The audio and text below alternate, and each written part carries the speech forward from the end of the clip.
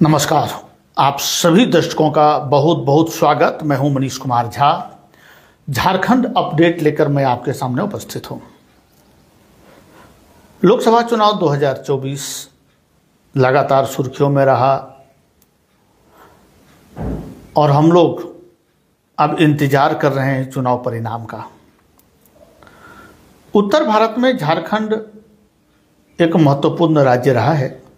हिंदी भाषी राज्यों का अगर बात करें, उत्तर प्रदेश, बिहार और झारखंड, इनकी महत्वपूर्ण भूमिका रहती है और दिल्ली की सत्ता यहाँ से होकर गुजरती है, लगातार यह कहा जाता है। सात फ़ेज़ में चुनाव संपन्न हो गया और अभी एग्जिट पोल भी लगातार क्या बता रहा है ये आप देख रहे हैं, एनडीए का बढ़त बता रहा है। रवीश कुमार ने बहुत अच्छी बात कही कि एग्जिट पोल जो लोग दे रहे हैं, उसका आधार क्या है? आधारहीन तथ्यों पर हम विश्वास क्यों करें? उन्होंने जिस पहलू को छुआ है जेके ट्वेंटी फोर सेवन उनसे सहमत है, क्योंकि हम लोगों ने पिछले दो महीने में जो परिश्रम करके पाया है, उसका निष्कर्ष मैं आप लोगों के सामने रखने जा रहा हूँ। इससे क्लियर हो जाएगा फिगर कि झारखंड की स्थिति क्या है? क्योंकि मैं झारखंड देख रहा हूँ, नवीन सर के साथ लगातार पसीना बहाया हम लोगों ने, हमारी पूरी टीम। प्रत्येक लोकसभा सीट पर गई, गाँव में गई, सिर्फ़ शहर में हम लोग नहीं गए, और वहाँ जाकर समीकरण को समझने का प्रयास किया। सामान्यतः आप देखेंगे, यदि कोई व्यक्ति किसी धर्म विशेष के यहाँ है तो वो यही समझते हैं कि यहाँ के लोग झाड़ कर इस पर वोट दिए, वो जीत रहे हैं। जब आप दूसरी ओर जाएँगे तो वहाँ आपको नज़र आएगा कि इन्होंने भी झाड़ कर वोट दिया, वो जीत रहे हैं। परंतु जो विश्लेषण होता है, जो समीकरण बनता है, वो इस आधार पर बनता है कि पूरे क्षेत्र का क्या स्थिति आप देख रहे हैं। यानी लोकसभा क्षेत्र, चूँकि जिला से इसमें मतलब रहता नहीं है। एक जिला दूसरे जिला में चला जाता है। जब जब आप जब आप दूसरे जगह जाएँगे तो आप ये पाएँगे कि जो समीकरण बनता है, वो पूरे क्षेत्र पर बनता है। उदाहरण के लिए आप रांची को ले लें। तो जो सामान्यतः लोग रहते हैं, वो रांची आते हैं, रांची के आसपास के लोगों से पूछते हैं और चले जाते हैं। जबकि ग्रामीण क्षेत्र में भी मतदाता निवास करते हैं और उसकी भी अहम भूमिका रहती है। तो समीकरण जब हम लोग बनाना शुरू किए, निकालना शुरू किए तो हमें पता चला कि जो एग्जिट पोल अभी है, वास्तव में वह एग्जिट पोल परिणाम में परिवर्तित नहीं होने जा रहा है। आपको याद होगा, अटल बिहारी वाजपेयी जिस समय चुनाव लड़ रहे थे, या यूँ कहें दूसरी सीट के बाद आगे बढ़े थे तो उन्होंने एक फार्मूला दिया था कि हमारा काम इतना शांतिपूर्वक हो कि इसका जो परिणाम आए वो शोर मचाते हुए आए।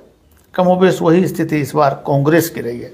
मैं इंडिया गठबंधन का बात नहीं कर रहा क्योंकि सबकी जो नीति थी वो अलग थी, परंतु कांग्रेस की नीति इस बार थोड़ा अलग दिखाई दी। ग्रामीण इलाके में जब आप जाएँगे तो वहाँ आपको इस बार झारखंड में कांग्रेस, झारखंड मुक्ति मोर्चा, मासस राजद, ये सभी मज़बूत नज़र आएँगे, इसको इंडिया गठबंधन हम कह सकते हैं। इंडिया गठबंधन के प्रत्याशी मज़बूत नज़र आए जबकि शहरी क्षेत्र में जो अमूमन होता है, भारतीय जनता पार्टी के प्रत्याशी मज़बूत नज़र आए, क्योंकि वहाँ शहरी मतदाता लगातार भारतीय जनता पार्टी को सपोर्ट करते नज़र आए। चौदह लोकसभा सीट का जब आप तुलना करेंगे तो आपको पता चलेगा कि सबका समीकरण अलग अलग है। कहीं मुस्लिम मतदाता फैक्टर है, कहीं वोट काटने की राजनीति हो रही है, कहीं गलत प्रत्याशी का दुष्परिणाम पार्टियों को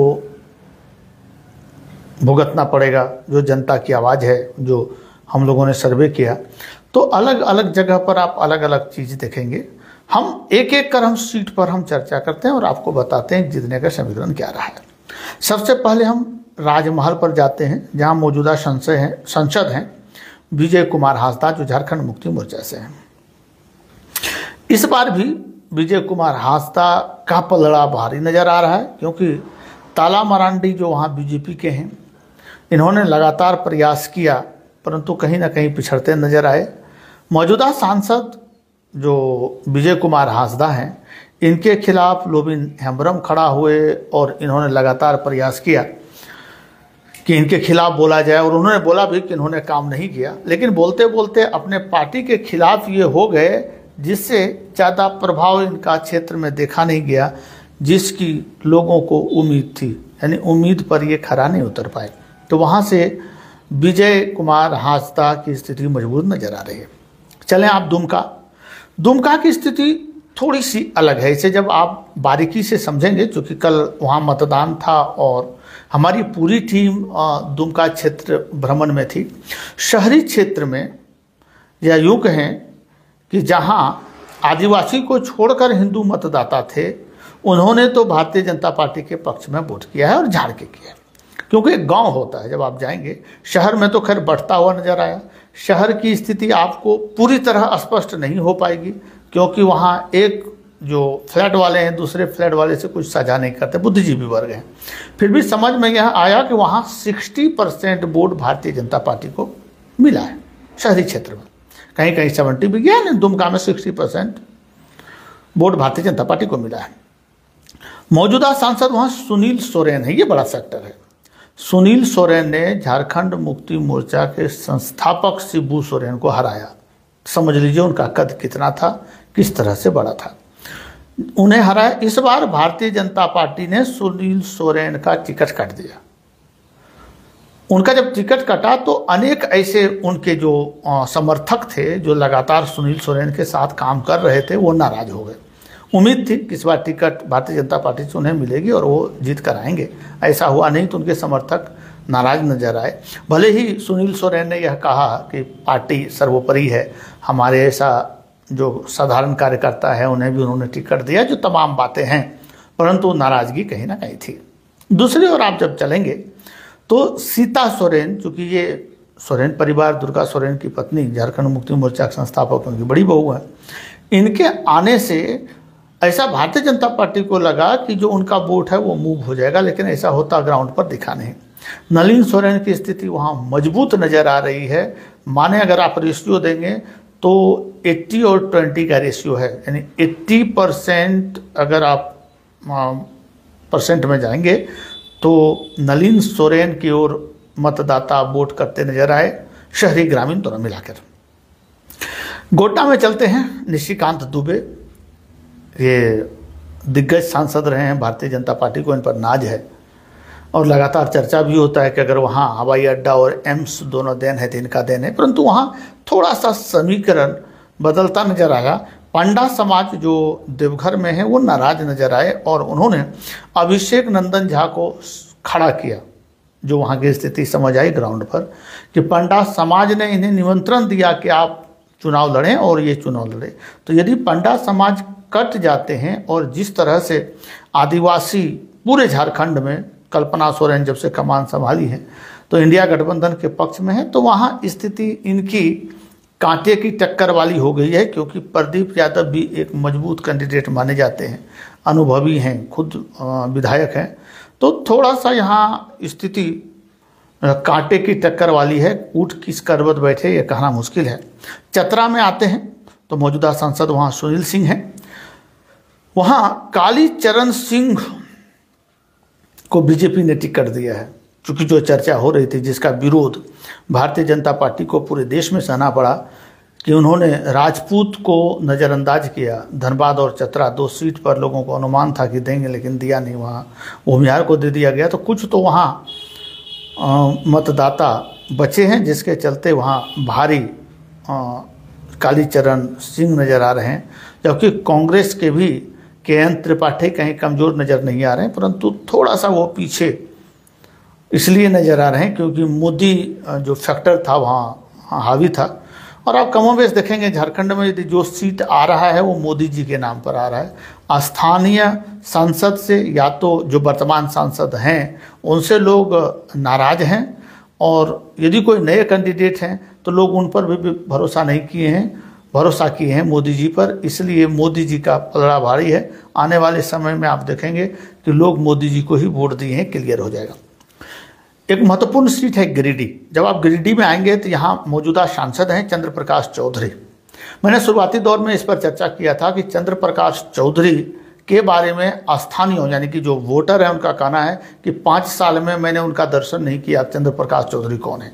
पिछले बार चूँकि मोदी जी का आह्वान था तो हम लोगों ने वोट किया था, परंतु विकास के नाम पर कुछ हुआ नहीं, इसलिए इस बार इनको हम वोट नहीं करेंगे। बाद में मोदी जी आए, उन्होंने आकर बात कही कि गिरिडीह का सांसद, मोदी कोडरमा का सांसद मोदी तो थोड़ा सा प्रभाव पड़ा है। परंतु मथुरा प्रसाद महतो जो इंडिया गठबंधन के झारखंड मुक्ति मोर्चा से चुनाव लड़ रहे हैं, उनकी स्थिति काफ़ी मज़बूत मानी जाती है। अगर आप चलेंगे टुंडी में तो टुंडी में उनकी स्थिति मज़बूत है, वहाँ के विधायक हैं। बाघमारा आएँगे तो बाघमारा में स्वयं उनका घर है, जाति समीकरण भी उन पर बैठता है और अंत में जो चंपई सोरेन वहाँ आए थे और जो यादव बोट थे, वो भी वहाँ रोहित यादव हैं, उन्होंने संगठित कर रखा था, वो भी उनके पक्ष में जाता नज़र आ रहा है। और कल्पना सोरेन ने जिस तरह से आदिवासियों को एकजुट कर दिया है तो स्थिति वहाँ मज़बूत समझी जा सकती है। जयराम महतो भी फैक्टर रहा है। अगर जयराम महतो को अधिक वोट मिला तो समझ लें कि चंद्र प्रकाश चौधरी को हराने में उनकी अहम भूमिका रही है। युवा उनके साथ हैं, लगातार युवा उनके साथ संघर्ष कर रहे हैं। उन्होंने स्थानीय मुद्दा पर बात किया और बहुत जल्द वो प्रकाश में आए और उन्होंने एक मज़बूत स्थिति अपनी बनाई है गिरिडीह क्षेत्र में। परंतु उतना स्थिति मज़बूत उनकी नहीं हुई है कि वो अभी विनर कहे जाएँ। परंतु देखना होगा, जनता है कमोबेश हम लोग आकलन लगा सकते हैं। जो सटीक आकलन है वो मैं देने का प्रयास कर रहा हूँ। अब आइए धनबाद सीट पर। धनबाद सीट पर मौजूदा सांसद पशुपतिनाथ सिंह जी हैं, जो बीजेपी से हैं। अनुपमा सिंह की स्थिति यहाँ मज़बूत नज़र आ रही है। इसका समीकरण है कि मुस्लिम के बाद यदि कोई बहुत सबसे अधिक जनसंख्या में धनबाद में है तो वो है राजपूत। तो सबसे अधिक जनसंख्या में मुस्लिम मुस्लिम कांग्रेस के साथ। राजपूत चूँकि पूरे देश में नाराज़ चल रहे हैं, जो मैंने बताया तो वो कांग्रेस के साथ, चूँकि अनुपमा सिंह राजपूत से हैं तो जाति समीकरण इनके पक्ष में हो गया, वो वोट कर दिए। और तीसरा, कि ढुल्लू महतो, चूँकि वो दागी माने जाते हैं उन पर चौवन मुकदमा दर्ज है। कुछ में सजायाफ्ता भी हैं। सरजू राय ने जिस तरह से लगातार बैटिंग की तो इसका भी कहीं ना कहीं नुकसान उनको सहना पड़ा है धनबाद में। और जो कल्पना सोरेन की जो एक फरमान थी कि आदिवासी एक जुट होकर इंडिया गठबंधन के पक्ष में मतदान करें तो 80 प्रतिशत से 90 प्रतिशत के बीच में जो आदिवासी हैं वो अनुपमा सिंह के साथ हैं, इसलिए इनकी स्थिति मज़बूत नज़र यहाँ मानी जा रही है। इसमें एक फैक्टर और रहा है कि जयराम महतो के जो यहाँ इखलाक अंसारी उनके प्रत्याशी थे, उन्होंने भी अच्छा मत पाया है, जो रुझान है, जो ग्राउंड पर हम लोगों ने पाया है तो वो भी वोट भारतीय जनता पार्टी का ही था। और जो मासस के कैंडिडेट थे यहाँ, रवानी जी, उन्होंने भी जो वोट काटा है, वो भी लगभग बीजेपी का ही वोट पहले माना जाता था पिछले बार। उन्होंने समर्थन कर दिया था। तो स्थिति आप समझ रहे हैं कि भारतीय जनता पार्टी को दोहरा झटका मिल लगा है। एक जयराम महतो की ओर से और दूसरा रावानी जी की ओर से। तो ये दोनों कहीं ना कहीं अहम भूमिका अदा करने वाले हैं। रांची की ओर आए तो ये है शहरी क्षेत्र जैसा मैंने पहले भी चर्चा की है, जहाँ शहरी मतदाता अधिक हैं, वहाँ भारतीय जनता पार्टी की स्थिति मज़बूत है। तो वहाँ संजय, जो सेठ हैं, वो बीजेपी के मौजूदा सांसद हैं। और उन्हें ही टिकट दिया गया। एक फैक्टर और भी है, जहाँ से जो सांसद हैं, यदि उन्हें पुनः टिकट दिया गया तो उसमें ज़्यादा की परेशानी नहीं हुई है, लेकिन जहाँ एक्सपेरिमेंट किया है, वहाँ थोड़ी सी परेशानी में नज़र आ रहे हैं। तो सं, जो रांची सेठ है, वो, रांची सीट है, उस पर संजय सेठ मज़बूत नज़र आ रहे हैं, वो भारतीय जनता पार्टी के खेमे में जाता नज़र आ रहा है। जमशेदपुर में आए तो यहाँ विद्युत वरण महतो जो बीजेपी से अभी वर्तमान सांसद हैं, उन्हें ही टिकट मिला। तो यहाँ भी इनकी स्थिति मज़बूत है, परंतु वहाँ शमीर महंती भी एक मज़बूत कैंडिडेट हैं। लगातार इन्होंने कंपेनिंग की है। तो स्थिति कमोबेश वहाँ जो समीर महंती के वो मज़बूत हुई है। परंतु अगर आप जीत का समीकरण देखेंगे तो विद्युत वरण महतो जीतते नज़र आ रहे हैं, भले ही मार्जिन कम हो। सिंहभूम में आप चले आइए। गीता कोड़ा, मधु कोड़ा की पत्नी, इन्होंने जो बीजेपी ज्वाइन किया कांग्रेस को छोड़कर तो यहाँ की स्थिति ये हुई कि 2019 में जहाँ मोदी लहर था, उस समय भी गीता कोड़ा ने वहाँ कांग्रेस का परचम लहराने का काम किया था। अभी तो स्थिति कुछ तो अंतर हुआ है और जब वहाँ गीता कोड़ा जा रही थी, उनका विरोध भी हो रहा था तो वहाँ इनकी स्थिति थोड़ी सी पतली नज़र आ रही है। जोबा मांझी वहाँ से जीतती हुई नज़र आ रही हैं क्योंकि जो बीजेपी के कैडर हैं या यूँ कहें कार्यकर्ता हैं, जो लगातार परिश्रम कर रहे थे, उनका मानना है कि भाई लगातार जो कांग्रेस में थे, उन्हें लाकर थोप दिया गया। जो लोग लगातार झंडा ढो रहे थे, उन्हें मौका नहीं दिया गया। तो अंदरूनी अनेक ऐसी बातें हैं, जिसके चलते वहाँ जोभा मांझी मज़बूत नज़र आ रही हैं, जीतते हुए दिख रहे हैं। आप खूटी में चले आएँ। यहाँ थोड़ा सा समीकरण इस बार बदल रहा है। अर्जुन मुंडा जो केंद्रीय मंत्री हैं, वहाँ से चुनाव लड़े हैं, लेकिन कालीचरण मुंडा की स्थिति इस बार मज़बूत है। आपको पहले भी याद होगा, बतौर मुख्यमंत्री भी अनेक ऐसे यहाँ के मुख्यमंत्री रहे हैं जो चुनाव हार गए हैं। तो इस बार जो स्थिति है वहाँ, वो बहुत कम के मार्जिन से जीतेंगे, लेकिन स्थिति वहाँ कालीचरण मुंडा की मज़बूत है। लोहरदगा आप चले जाएँ तो सुदर्शन भगत बीजेपी से हैं। और इस बार वहाँ बीजेपी ने समीर उराव को खड़ा किया है, जहाँ समीकरण बदलता नज़र आ रहा है। मैंने पहले भी कहा था कि जहाँ सीटिंग को उन्होंने टिकट नहीं दिया है, वहाँ स्थिति बदलता हुआ नज़र आ रहा है। सुखदेव भगत जो कांग्रेस के हैं, वो मज़बूत नज़र आ रहे हैं वहाँ। हालाँकि समीकरण वहाँ बिगाड़ने के लिए चामरा लिंडा को खड़ा किया गया था। और आपको याद होगा, सरना धर्म को लेकर लगातार वो संघर्षरत रहे हैं। अपने भी पार्टी के खिलाफ बोलने में कभी वो पीछे नहीं रहे हैं। तो शुरुआती दौर में लगा था कि समीकरण बिगड़ जाएगा, परंतु जब वो अपने पार्टी के खिलाफ बोलना शुरू किए तो आदिवासी समाज मूव किया और जिस तरह से कल्पना सोरेन ने आदिवासियों को यह समझाया कि हेमंत सोरेन को जेल भेजने में भारतीय जनता पार्टी की अहम भूमिका रही है तो कहीं ना कहीं इसका लाभ सुखदेव भगत को मिलता वहाँ नज़र आ रहा है, जो कांग्रेस के प्रत्याशी हैं वहाँ से। पलामू में आइए। तो पलामू में मौजूदा सांसद हैं बी डी राम, और उन्हें ही टिकट दिया गया है। इसलिए एक तो मोदी के नाम पर, दूसरा मौजूदा सांसद हैं, इसलिए उनकी स्थिति वहाँ मज़बूत नज़र आ रही है। पलामू से जो बी डी राम है, वो जीतते नज़र आ रहे हैं। आ जाइए आप हजारीबाग में। अभी का समीकरण, यह कह पाना मुश्किल है भारी कौन? अगर सबसे अधिक कांटे का टक्कर किसी सीट पर है तो वो है हजारीबाग यूँ समझिए हजारीबाग बीजेपी का कर रहा है। परंतु जिस तरह से जेपी भाई पटेल ने ग्राउंड लेवल पर साइलेंट रूप से काम किया है, ये कांटे के टक्कर में ला दिया। क्योंकि पिछले बार अगर आप ध्यान देंगे तो वहाँ के जो वर्तमान सांसद जयंत सिन्हा थे, उन्हें टिकट नहीं दिया गया। तो इसकी हानि बीजेपी को होती नज़र आ रही है। उनके जो पिताजी थे, यशवंत सिन्हा, उन्होंने तो खुलकर विरोध किया। राजपूत पहले ही विरोध में है, भारतीय जनता पार्टी के या एनडीए का। तो इसका खामजाजा वहाँ उन्हें नज़र आ रहा है उन्हें खामजाजा मिलेगा।